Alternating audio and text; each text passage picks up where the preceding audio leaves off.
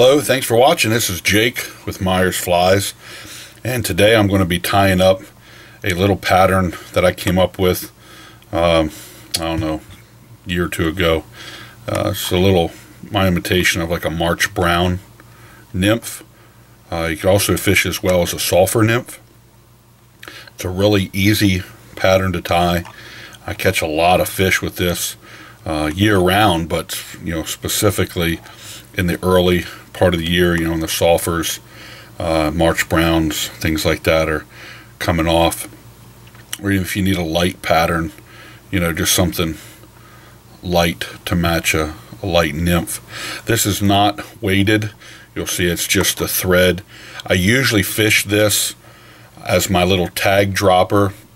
And so uh, what I'll do is in the Euro nymphing leader system that I have, I do a real heavy anchor fly, and then about two foot up from that, 20 inches up from that, I tie on a little six inch, four inch tag. And so this would actually ride up a little higher in the water column as, you know, a nymph, uh, you know, just a little bit higher in the water column. And so it's not weighted so you need something to get it down. You could weight it you could put some lead underneath of there but I like to fish it just uh, just as it is. Also I'll throw this underneath of a dry fly and so you could do like a dry dropper with this. So uh, anyhow that's the fly. And uh, had some folks asking about about this so we'll tie it up here for you quick. It's not uh, it's not real difficult. This is the uh, 633 633 Firehole hook. This is just like a wet nymph hook. And uh, I'm going to put a little bit of thread on here. Here's a little bit of just UTC 140 in brown. That's the ultra thread. And so I'm going to start this, you know, back off the eye about two eye lengths and just wrap that back you can use 70 denier for this. Uh, this is a size 14. So if I was going to tie it smaller than this, I would definitely go with like a 70 denier thread.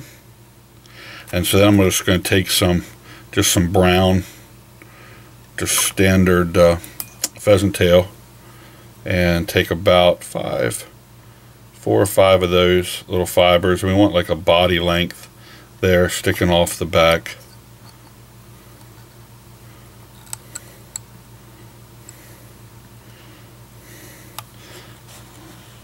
A lot of times I take this underneath of the back, underneath the back, and then it kind of helps splay those out a little bit. I just kind of wrap this back up to the tie-in point. I'm going to take a little bit of wire here, the brassy size in the gold UTC ultra wire. I'm going to tie that in there as well. And I'm doing this on the far side of the hook. It would be the far side of the hook to me, but it's to your side as you're watching it. I'm not going to counter rib this. If I would, I would have put it on the other side, to the near side towards me, but uh, I like it to kind of sink down into the into the body of the fly a little bit the dubbing that I'm using here, sorry about that, is um, is Hare-Tron, uh, the Golden Stone dubbing from Hareline. I just like that color. Uh, it's got a really nice color to it. I, I tie this my uh, Golden Stone flies as well. I use this same dubbing for that. Uh, some sulfur nymphs. I mean, it's uh, you can use the sulfur orange, you know, for more of a sulfur uh, type color. But I'll tell you this as as like a generic pattern that you're going to do, you know, fishing it for March browns and sulfurs. This does really well. So I'm going to keep that real thin on there. That's just a real thin uh, portion of this, you know, this dubbing and then I'm going to come back through and again I'm not counter wrapping I'm just going the same way it's going to sit down in that that dubbing for me I'm going to tie that off right up here at the front. Helicopter my wire off. Now sometimes your thread will get a little knotted up, a little wound tight. I just counter spin this. You know, just spin it little bit. That'll kind of unwrap the thread with this ultra thread and it lays down lays down flat. So I'm going to take some more of this same same color but instead now I'm going to use a little bit more so I'm probably you know again probably 8 to 10 fibers you know that I'm going to pull off here and I like to always come back and snip these little snip those little curlies off the back. Then I'm going to position this with the underside and you know this is preference but the underside of that of that feather you know you got the the top side which is your nice barring real nice finished look and then you've got the underside of the feather.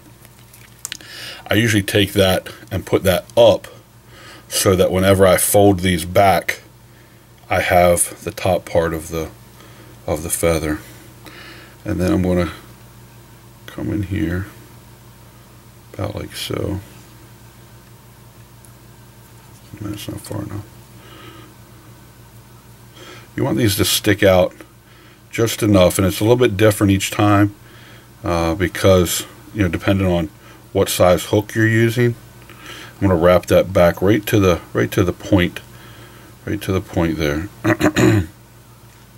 But um, yeah just to spend, depending on the size of the hook and then that way when you fold it back you know you want it to come eh, to about where the barb would be or so.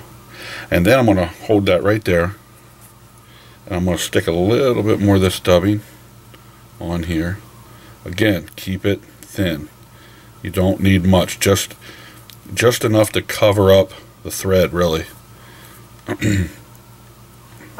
With this dubbing.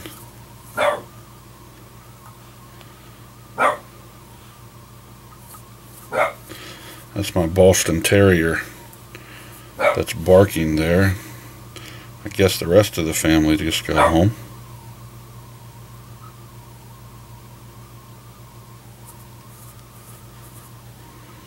Again, just keep it thin.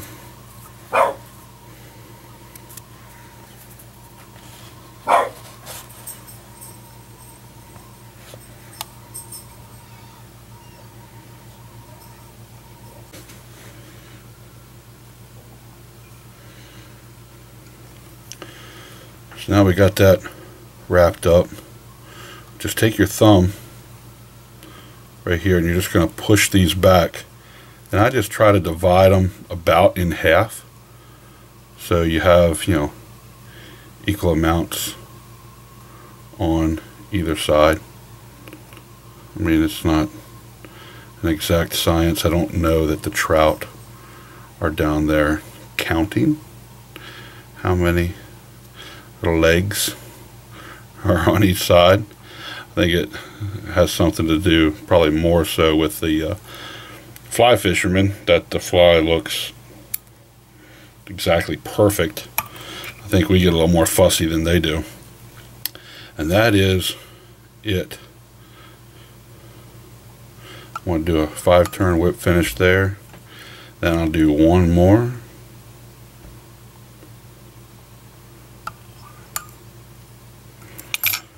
And then I'll usually take a little bit of head cement put on there.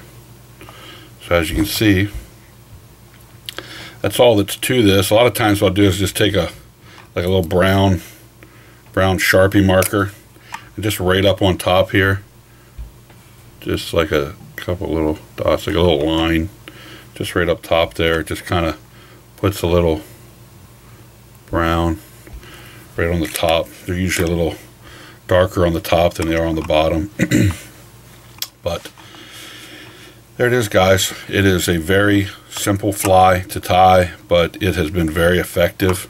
Uh, very effective for me, and so uh, you can mix up the colors, you know, and uh, try different try different colors as well. You know, so hey, check it out. Uh, we also sell these. If you don't tie them, we sell them on our website at myersflies.com. And uh, you know, if you want something else tied, uh, just shoot me a message and I'll try to do a video. Uh, but look us up on the website at myersflies.com and then also subscribe to YouTube channel and uh, follow us on Instagram and share it, uh, you know, with your friends and just trying to be a help. So uh, tight lines. Good luck on the water.